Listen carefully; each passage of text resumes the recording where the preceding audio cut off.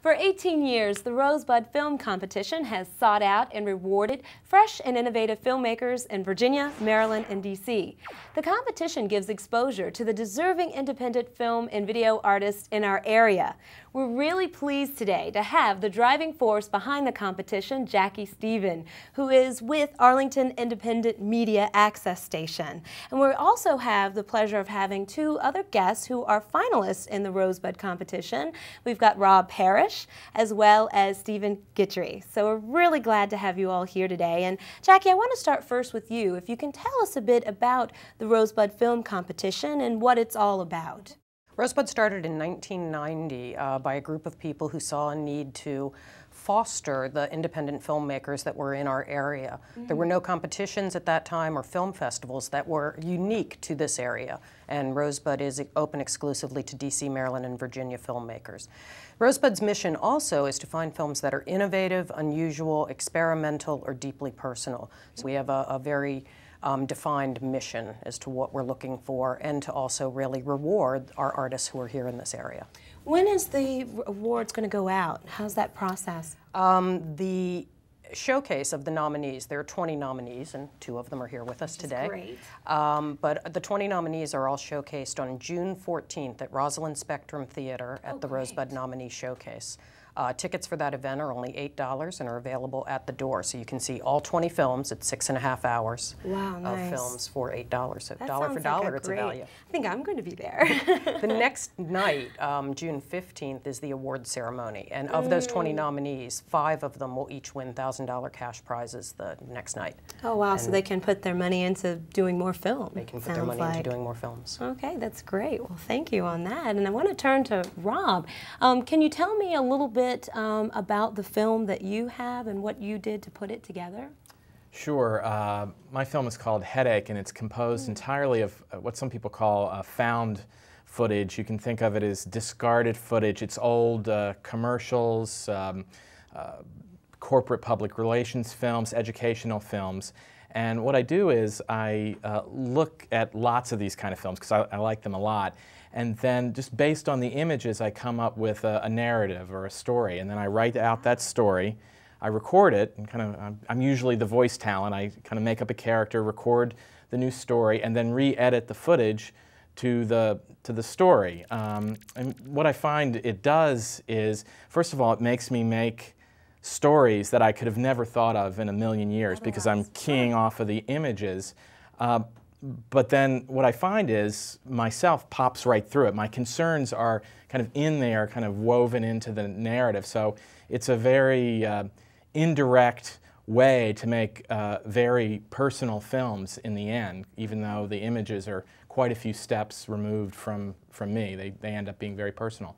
Is it a certain type of genre that you do? Is it something specific, or is this something that you've created on your own? No, there's there's always been a lot of work around found footage mm. and uh, a lot of uh, artists. I've, I've kind of got one foot in the fine arts world and one foot in the video world. So a lot of fine art video artists are using found footage. There's quite a bit of that, um, and uh, kind of reappropriating footage for narrative. That's also been done uh, in the past um, as well. So it's a it's a tradition that I didn't make up, but one that uh, has a past and I think a future because I think people love these old films and they, they want to do things with them.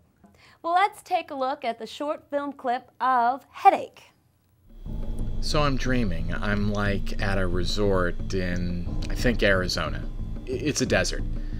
I've got my lawn chair, everything's great. It's hot, but it's dry heat, so I'm feeling warm, but not bothered. The only weird thing are these little buildings miles in the distance.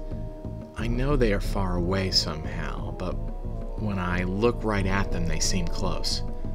Then, boom, flash, an A bomb goes off, and before I can really react, this big suitcase snaps me up and sweeps me off. I open my eyes and I'm in a house. But in the dream, I know it's the inside of the suitcase funny thing, I, I don't remember waking up from this dream. And this voiceover is what I'm thinking. Oh, great, great. Thank you for sure. that. And then, Stephen, you have a, a, whole other different type of medium itself. Could you describe that for us? Um, well, the, the it's a music video, I guess, is the sort of larger genre for a band that I'm in called the Cassettes, and um, the the actual animation is is hand drawn. It's sort of hand drawn art by the lead singer of the band, actually, and then um, digitally animated. So um, basically, he drew the backgrounds and the characters and whatnot, and drew them in such a way so they could be animated. Uh, so basically, you know, the hands and the, the arms and the eyes and the hats are sort of separate pieces. And then uh, he gave it to me and put it into the computer and used a computer to animate all those little elements and everything. And then, of course, also uh, gave it a sort of, I guess, having been inspired um, from a very early age for things like, you know, the short cartoons on Sesame Street and that sort of thing, uh, to give it that sort of vintage, uh, vintage meaning, I guess, 60s, 70s. So uh, vintage, So it's you know, retro type sort of, yeah, you more retro, I suppose, and uh, you know, to sort of give it that look, um, and to have that sort of try to achieve some of that simplicity of of that form of, of animation. Now we're going to take a look at your short film video, Rogue Gnome by the Cassettes.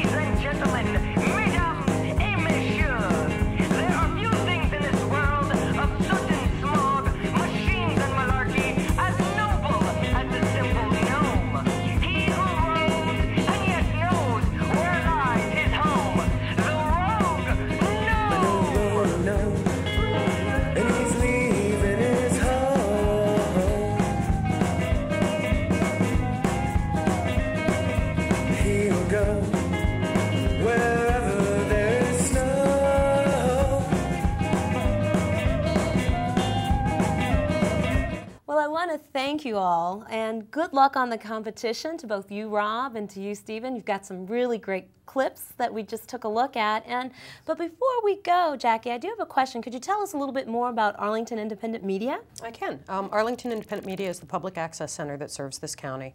We have classes in television production, everything from very basic classes through master classes, but then we also have mm-hmm. equipment and facilities available for you to use to create either independent films or anything that you want. And then we have a channel that we air it on here in Arlington. Oh, wow, that sounds great. I mean, this is a great resource not only for Arlington filmmakers, but really for anyone in Arlington to be able to take advantage of some of the resources that you have. That's awesome.